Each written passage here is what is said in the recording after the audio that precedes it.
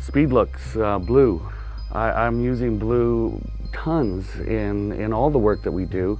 Um, again, with all the SpeedLooks, what's beautiful about it is you maintain, we maintain the whites, we always have solid blacks. On the narrative aspect, blue is very important. I mean, uh, blue images, it's all over the place, you know.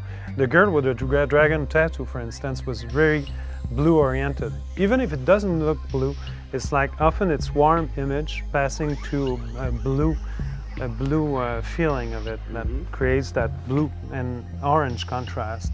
And uh, The Office is in uh, Dragon Tattoo, the one uh, with uh, by uh, David Fincher. Mm -hmm. you know, all the Office work, it's very cold.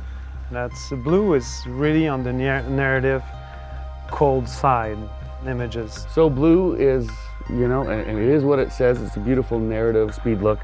And again, it'd be interesting to start experimenting with blue and maybe noir and starting to combine those. But uh, mm. that's that's SpeedLook blue.